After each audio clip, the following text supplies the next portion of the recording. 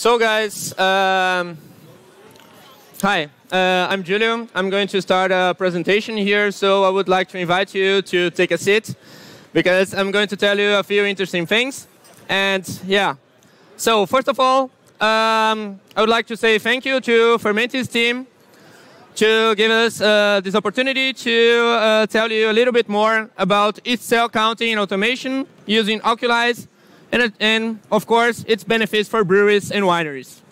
So, first of all, presenting myself. So, uh, yeah, I'm a brewing and beverage engineer. I studied in Weihenstephan, and uh, I'm also a brewer technician, so from Brazil. And in meanwhile, I had a chance actually to work in different places uh, in the drink industry. So, like in the Stone Brewery in Berlin, and also at Newport in Portugal. And now I'm the fermentation expert from Oculyze. So, but the first question is actually, why should we analyze the yeast? Basically, to avoid off flavors, so that may negatively uh, affect the reputation for the product or the brand. Also, standardized products, so offer customers constant quality. Standardized process, so increase plant efficiency at the end. Optimization the occupancy time of the fermentation tanks in order to reduce the production costs and expenses, and also to increase the productivity, so to avoid delays and longer tank occupancy times. And basically, what is Oculyze? You might, be, you might have been asking yourselves. So, it's actually the combination of a hardware and a software. As you can see, here's the microscope, and here is the app. We have basically two apps, one more for uh, beer brewers, so brewers, and for uh, winemakers. Our technology is basically based on uh, image recognition. So here what I'm showing you is uh, basically some yeast cells before our uh, analyze and after. So basically, only yeast cells will be counted. Cells inside the circle or in contact with the white line here will be counted. Cells in contact with the red line won't be counted. And cells marked in green are live cells. And um, the purple ones are dead. It's basically a contrast thing, so the pretty application of the Thomas chamber method. So, but the, actually, the most important question would be why should you choose Oculyze? Because Oculyze is reliable, so our anal uh, analysis method was validated by the VLB, and it's already present in more than 30 different countries. Oculyze is also easy to handle, so anyone can operate it if even uh, if they never worked with a microscope. But that you see at the end of the presentation. Oculyze is fast because we are able actually to deliver the results within one minute. Oculyze is also convenient because also the results they will be available either on your uh, mobile device or on your computer, also online or as a PDF file. And Oculyze is robust, okay? If you look here, does not look like that, but how would you describe something that doesn't need calibration or maintenance? For me, it's robust. And only Oculyze does the concentration and viability, warning about low viability, the budding index, the cell, uh, cell size chart, the visualization of dead cells, living cells, and basically you're seeing your yeast. And all of that at the same time. And Oculyze provides you actually the distribution of cells by size, which is actually quite important because this tool allows you to identify stressed cells in case this peak goes in this direction, identify also healthy, healthy cells, and also reduce fermentation time because if the cells are bigger, they're going to start the fermentation faster, meaning that you're going to profit from an increase of productivity. Because then, if the fermentation is going to run faster, you know what I mean. Like at the end of the year, you're going to earn per fermentation like several hours, and at the end, you will be able to produce more without needing to buy a new tank. So, also reduce wort aeration because if the cells are bigger enough, you can also reduce the aeration, which, uh, which would be also an additional process in the line. And also to uh, solve fermentation issues faster in case the fermentation stopped, for example, because the uh, tank went too cold. If you have a slurry with uh, some bigger cells inside, this fermentation would be, I mean, the, uh, this fermentation would restart again if you add this slurry with bigger cells. So we also have the pitch rate calculator, so you just have to feed uh, the calculations and then you would be able to precisely dose the amount of slurry into the other tank, maintain the sensory profile from your product, and keep the tank occupancy time constant. Also, the fermentation tracking. So basically what we're seeing here are many different measurements that we plotted in a chart. So here you can define, for example, one of these slides as parameter. First, sorry. The thing we're seeing here is actually a little bit of the fermentation curve. So how the fermentation goes on. We can see here more or less the ends of the lag phase, the entirely um, exponential phase, and then the thing of the, the beginning of the stationary phase. But if you do that for the whole fermentation, you would be able to track and at the end see, okay, I'll set this line as parameter, and then for each product that I'm going to produce, I know, okay, this fermentation is going to take me seven days.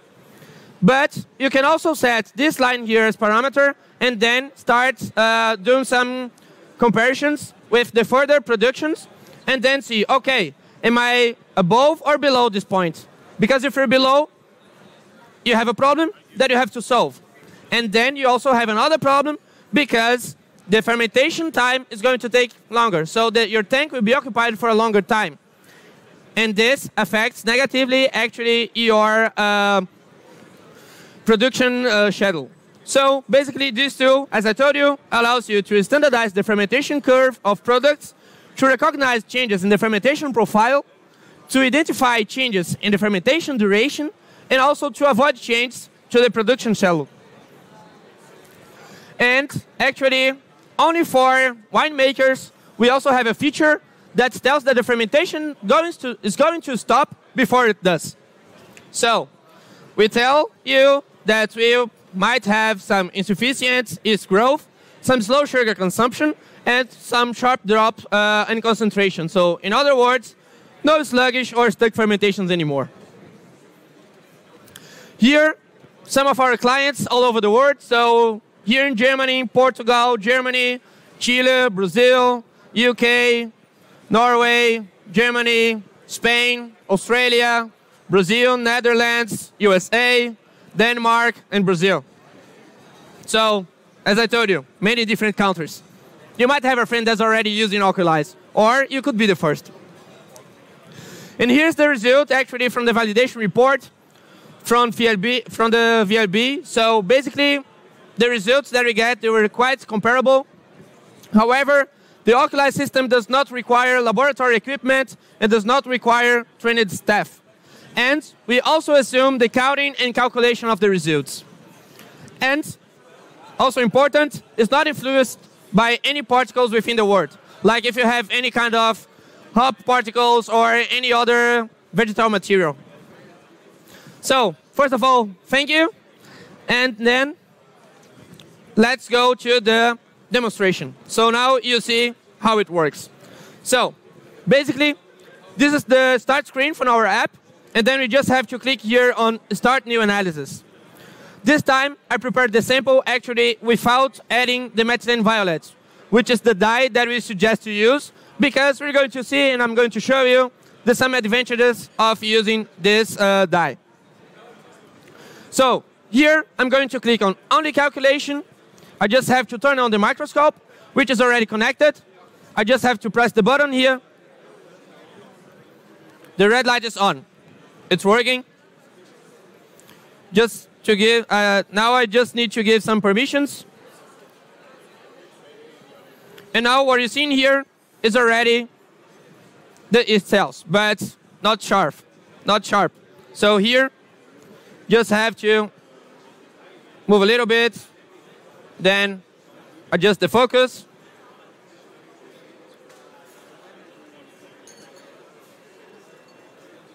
So what you're seeing here are the yeast cells. So since this value here, um, I mean, from that far you're not able to see, but it's something around 1800, 900. So, and this is supposed to be at least around 40. So this sounds, I mean, this means that the picture is quite good. We click here in the middle, take a picture, then it's fine. Now we just have to release the pressure, move the slide to another position to capture another picture, then adjust the focus again. The value here is above 40, fine. Another picture, keep, release the pressure again, move the slide to another position, adjust the focus, and then click here in the middle. Now I click here on keep, and now I have the page where I add all the information that I want to be, that I want to have documented. So name for one sample, just now it turn it for me. One, two, three.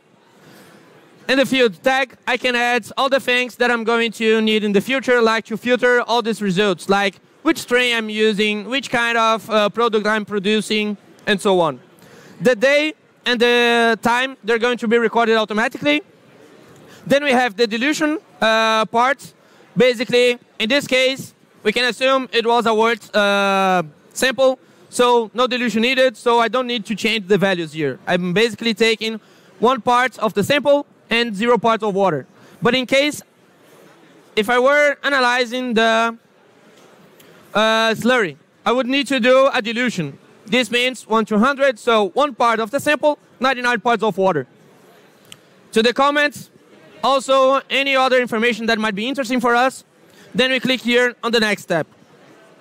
And meanwhile, these pictures went to our server, went through the algorithm, and uh, came back, providing us the result. So, and now I want to show you another thing that we have here. So, all the results, as I told before, they're going to be available here. And we also have the pitch rate calculator, as I told you before and I showed you.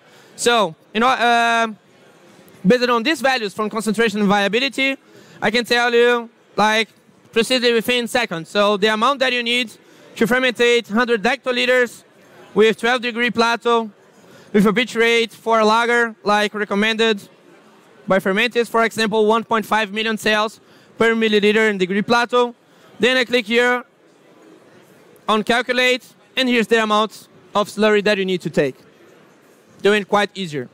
So, yeah, that's it from our side. Do you have any questions? Yeah, sure. And I mean, at the end, last but not least, the greatest news are act is actually that Fermentis is going to have our app integrated to theirs. So the best working together, you know? so thanks for your attention. If you don't have any questions,